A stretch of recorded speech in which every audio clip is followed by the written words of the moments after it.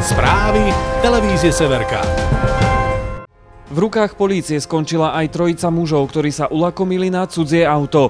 34-ročný Jozef ukradol kľúče od auta jeho majiteľke. Potom spolu s ďalšími dvomi ľuďmi sa postarali o to, aby auto spred rodinného domu zmizlo. Zamkli ho v garáži v meskej časti Bôrik. Okrem toho vodič, ktorý auto šoferoval, mal zákaz viesť motorové vozidlo.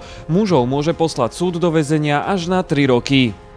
Severka, televízia Severného Slovenska. Denne nové spravodajstvo z miesta obcí, v ktorých žijete, pracujete, kam chodíte na rekreáciu či za priateľmi. Žiadajte u každého dobrého operátora.